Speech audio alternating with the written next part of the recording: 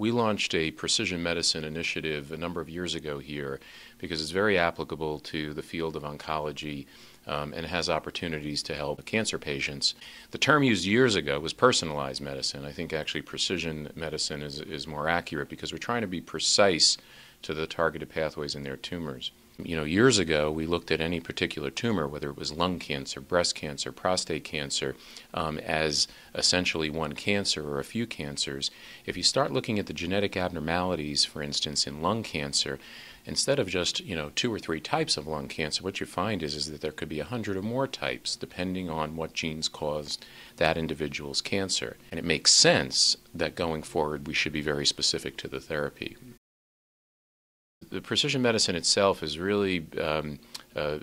been because of uh, the benefits that we've uh, we've seen from advanced technologies um, uh, diagnostically, meaning our ability, for instance, um, to do gene sequencing um, of cancer. Uh, of a patient's cancer and start to understand uh, the genetic abnormalities um, of an individual's cancer, meaning what genes have changed in their particular tumor that's causing their cancer. In a practical sense, what we're, what we're really doing here is we've launched what we call a molecular tumor board.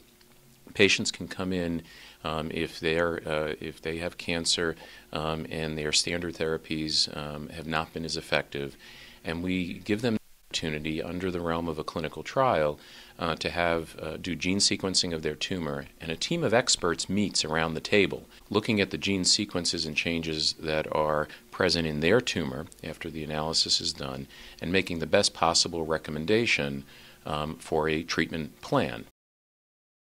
And we, we've seen over the course of uh, a couple of years um, a number of patients that appear to benefit from it, but it's going to require additional clinical trials to really know the full benefit. I think this is key to us getting to that next step. And I think that what it uh, what it uh, can lead to and should lead to um, is uh, you know